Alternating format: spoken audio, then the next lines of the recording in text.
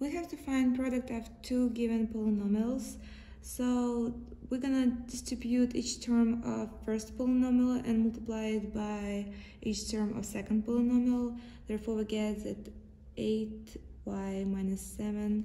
times 2y squared plus 7y minus 3 equals 8y times 2y squared plus 7y minus 3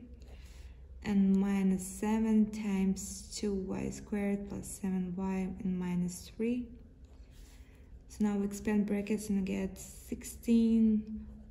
cubed plus 40, 56y squared and minus 24y and minus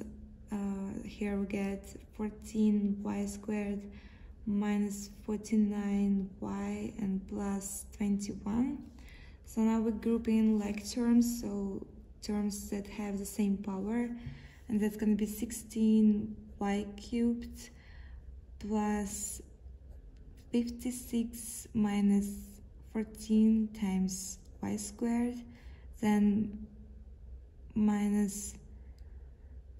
24 plus 49 times y and plus constant 21 therefore we get 16 y cubed plus